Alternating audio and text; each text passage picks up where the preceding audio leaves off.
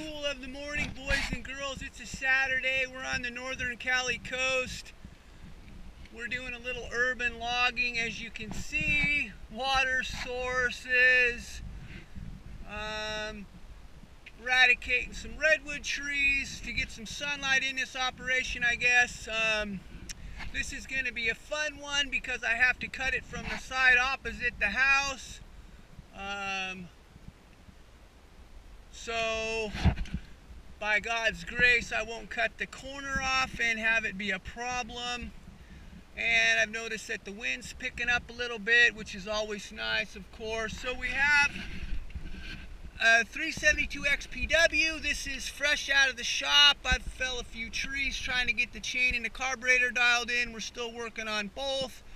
This is the Psycho version. So she moves right along. Let us see how this works out.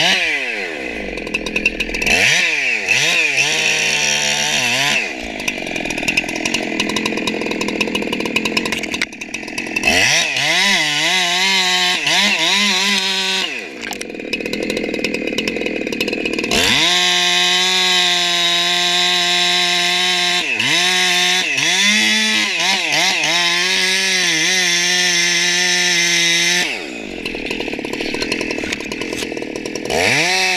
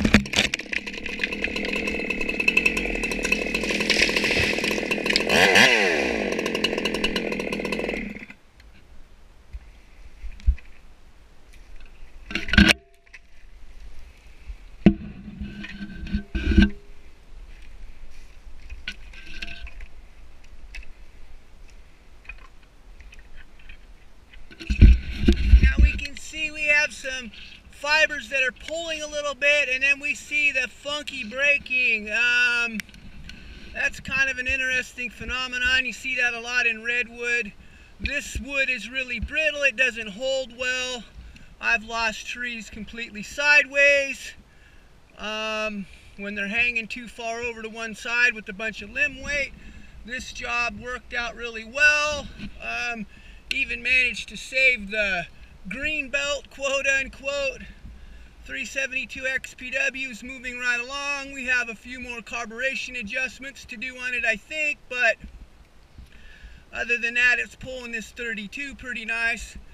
And we were successful, so I'm thankful that God was smiling on me here. That would be a costly endeavor to lose a tree on a house. So anyway, thanks for watching this session. Have a blessed day wherever you might be on God's green earth.